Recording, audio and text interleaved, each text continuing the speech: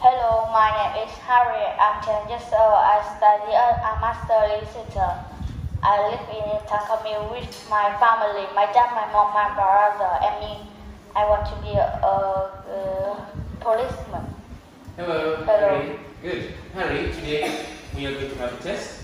I will ask you some questions and I will show you some pictures. Are you ready? Yes. Very good. Well done. Now let's start here. In the first part of the story, I want you to tell me the difference between picture one and picture two. For example, in picture one, the woman is wearing a jacket, but in picture two, she is wearing a coat. Now, can you tell me four differences between picture one and picture two? Here you are. In picture one, there are five trees, but in picture two, there are four trees. The picture one, there is the weather is sunny, but in picture two, the weather is wind, uh, cloudy. Picture one, the girl roller skating, but in picture two, the girl running. In picture one, the boy uh, wearing a purple helmet, but in picture two, the boy wearing a red helmet. Very good. Well done, Harry. Great job. Now, can you tell me the story about Claire and the monkey? Now, in picture one, Claire is at the beach. She is reading a comic, and there is a monkey in the tree. Can you tell me the story from picture two, three, and four? In picture two, the monkey taking her her baseball cap.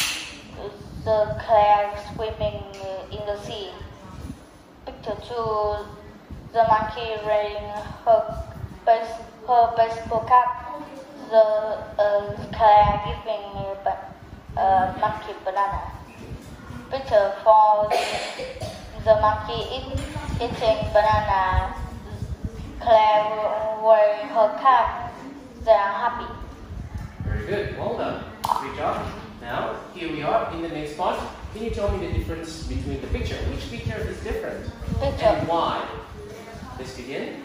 picture, uh, picture for uh, three is different because it's book. But in picture one, two, four, are fruit. Picture three is different. The is the girl in hospital. But picture one, two, four, they are inside In the circus. circus. Very good. Picture one is different. He wa- wa- washes his face. But picture two, three, four is different. They are do sport. Picture picture three is different. The cat can't fly. Picture one, two, four it can fly. Good. The animals can fly. The animal can fly. Very good. Now let's talk about your bedroom, Harry. Is your room big or small? It's big. Good. Have you got a TV in your room? No, I haven't. What is there in your room? There is a bed. There are uh, pictures. There are uh, a books. There is a chair. There is a desk. There is a computer. Very good. Where do you do your homework? I do my homework my at my desk. Very good. Well done. Great job. Thank you very much.